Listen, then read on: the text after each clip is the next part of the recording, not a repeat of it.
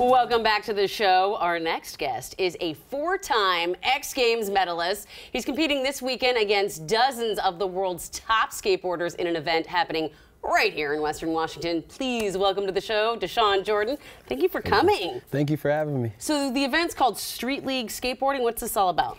So Street League Skateboarding um, is a contest that, that came about. Uh, Rob Dyrdek was like one of the original, you know I mean, creators of it. And it pretty much was this contest that was made to um, bring, you know, some of the world's greatest skateboarders together, you know what I mean, in this environment that pushed everybody to like skate at like at, to skate at a substantial level and you know what I mean and just give the crowd like something they wanted to see and so Right. pretty much like you know it's everybody out there on the course together you're hanging out there's great skateboarding going on it's just like a great environment to be in because everybody's pushing each other the energy is awesome and yeah you know you go across the whole world you know what I mean competing and skating with your friends You must be inspired because my my little daughter, she told me a few years ago, she's like, "Mom, I want to skateboard," and so we took her to the skateboarding in the skate park, and she just gets so inspired when she sees the people really just ripping it and doing great.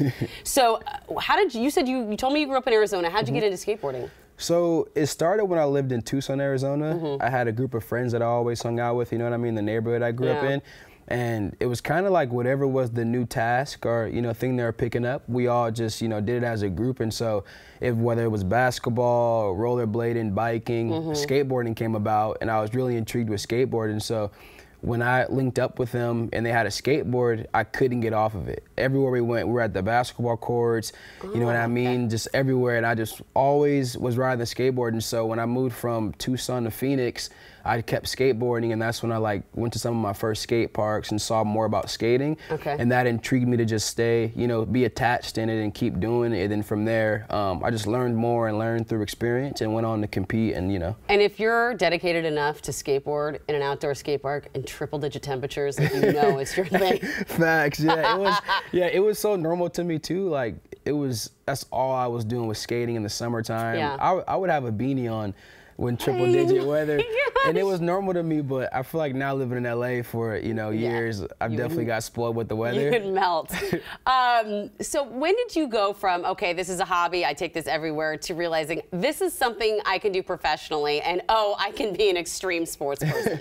Um, I would say, I don't know. I, I would say, yeah, through time and experience, like I learned more than I Mm-hmm. learned what it could actually be as a career and like what opportunities were out there for it. And so um, I would say through competing, that kind of helped me get my name on the scene a little bit. And then Yeah. after getting my name on the scene, um, I just was like, oh, like this is an option, you know. I could, this is a way to to get there, and even up all the way up to the point to where I got the my first email about wanting to be support on a more formal level.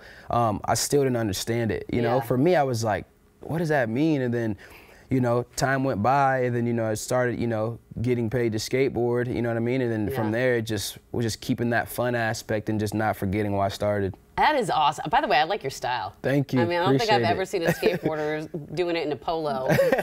Yeah, that was. Does Nike sponsor you? Yeah, Good. that's one of my sponsors, They yeah. should. um, so, uh, how, I understand, aside from skateboarding and extreme sports, you're also in the music scene.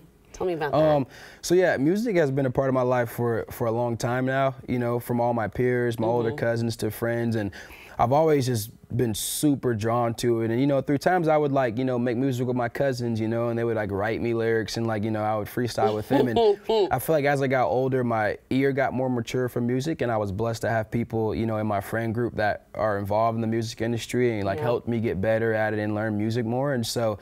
I just started, you know, getting more comfortable with like showing that side of the world, you know, and then I went on to start dropping music and, and stuff like that. And that's literally like my life. I wake up, go to the gym in the morning, go skate, you know, until the sun goes down, and then I end at the studio every day. That is great. Mm-hmm. Man, is there anything you don't do? Apparently, actually, that's there's not. Uh, He also is apparently quite good in the roller rink. You can dance on skates. yeah, roller, roller skating is another thing that's been a part of my life. I love this. Yeah, I roller skate.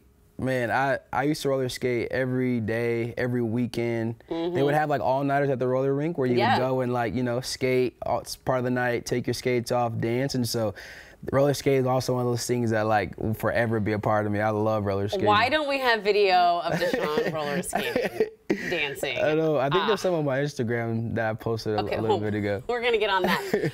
well, first of all, tell me about the competition this weekend in Everett and how people can go.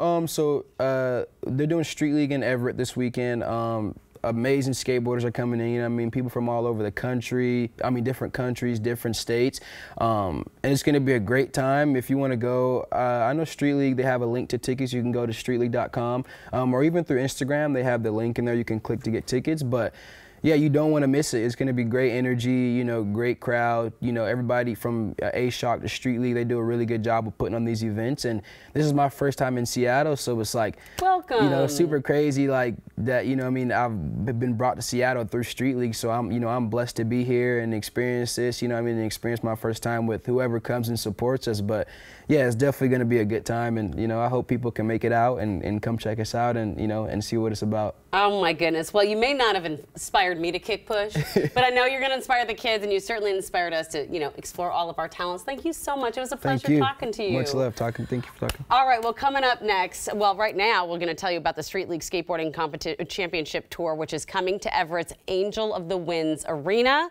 August 13th and 14th. This is going to help determine which skaters advance into the battle in the title round in November. So you're seeing a real lot of action.